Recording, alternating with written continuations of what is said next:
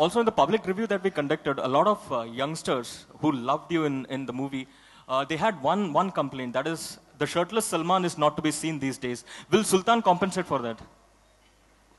Only compensate. Only compensate.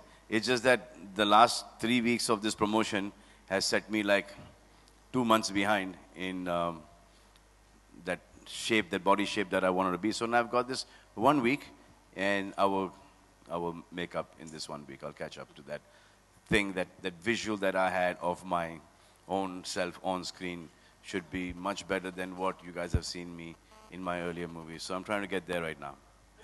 Salman, I'm just getting big and strong and also ripped at the same time, which is like the most difficult thing to do. You can get small and you can get ripped, but to get big and um,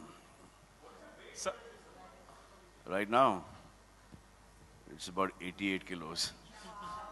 I Salman, need to. Salman, और Salman, I need Salman, to- uh, I need Salman, to Suraj, touch it, Salman. 90, 94, 94, and then I need to go down to about 70 in another section of the film. But it's all going to be muscle. नहीं यहाँ पर मुझे हिंदुस्तान में काम करना बहुत अच्छा लगता है और हिंदी में डायलॉग बोलना बहुत अच्छा लगता है। सडनली इतने साल हिंदी में डायलॉग बोलने के बाद अंग्रेज़ी में बोलेंगे तो थोड़ा सा वेड लगेगा मुझ पर।